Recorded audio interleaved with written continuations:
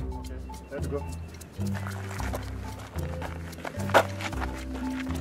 The technique uh, worked somewhat, uh, except the fact that uh, some of the bats actually fly away, and you had to be running uh, after the bats. Sometimes they run, and then suddenly they come back, and they make you quick turns, and you're not able to uh, record very good calls uh, of the bats, depending on the species.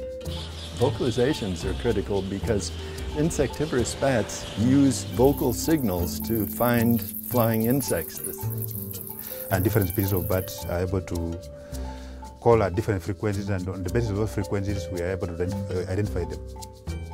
If we have a, a call library of different species of birds, uh, then that can be used to study birds remotely, record their calls, and that information should be fed will, will be fed into management strategies for Kenyan habitats, Kenyan reserves, Kenyan parks.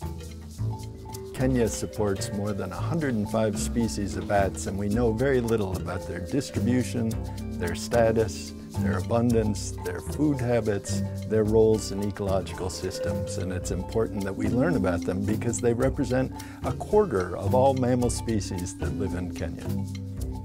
Other than uh, calls, which we are recording to study ecology, distribution, and so on, We have a voucher specimen with genetic samples for understanding its relationships to other bat species. We have uh, tissue samples for looking at pathogens. We have ectoparasites. We have fecal samples for understanding diets.